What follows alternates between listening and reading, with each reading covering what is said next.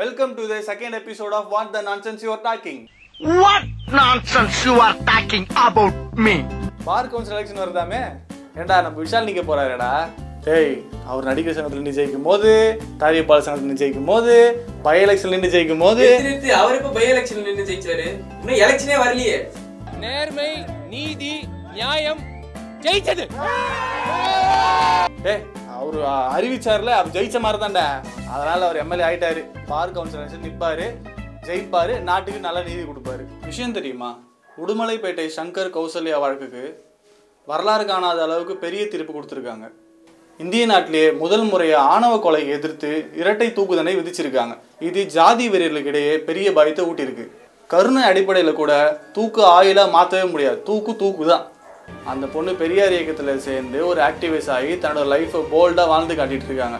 அது மட்டும் இல்லாமல் அவங்க அம்மாவை எதிர்த்து உரிய தண்டனை கிடைக்கணுன்றதுக்காக கோர்ட்டில் அப்பீல் பண்ணியிருக்காங்க. எப்போ வருவீங்க? கண்ணா எல்லாம் ஆண்டவன் கிட்ட இருக்கு. எப்போ வருவீங்க? கண்ணா எல்லாம் ஆண்டவன் கிட்ட இருக்கு. எப்போ வருவீங்க? எல்லாம் ஆண்டவன் கிட்ட இருக்கு. எப்போ வருவீங்க? ஆஸ் யூஷுவல் எல்லா ஆண்டவருக்கு தான் தெரியும். இப்போ ஆர்கே நகர் தொகுதியில பணப்புழக்கம் எப்படி இருக்குன்னு நம்ம மக்கள் கிட்ட கேட்டு தெரிஞ்சுப்போம். அம்மா இந்த ஆர்கே நகர் எலெக்ஷன் கேன்வாஸ்ல முறைப்படி நடக்குதாம்மா? எங்கெங்க?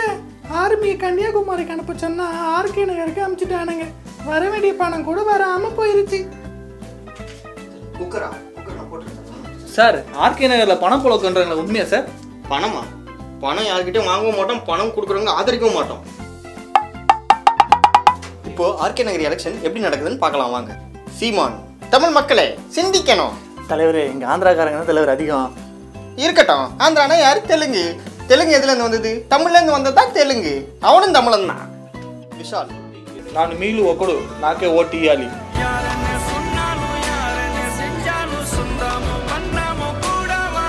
டிடிவி. மக்களே நான் தான். தொப்பி அஞ்சு ஆறு பணம்.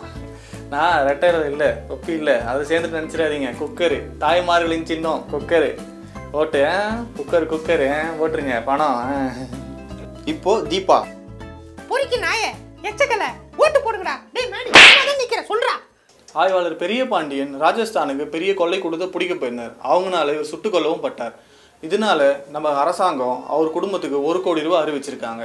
அதுவும் இல்லாமல் கவர்மெண்ட்டே அவங்க பசங்களுக்கு முழு படிப்பு செலவையும் ஏற்றுக்கிறாங்க அது மட்டும் இல்லாமல் அவரோட சொந்த ஊரில் இருக்க பத்து சென்ட் இடம் ஊராட்சி பள்ளிக்கூடம் கட்டுறதுக்காக இலவசமாக கொடுத்துருக்காரு. சரி அவரை சுட்டவரை பிடிச்சிட்டாங்களா இல்லையா? ராஜஸ்தானில் ஒம்பது பேரை கைது பண்ணி விசாரிக்கிறதா அந்த ஊர் காவல்துறை அறிவிச்சிருக்கு.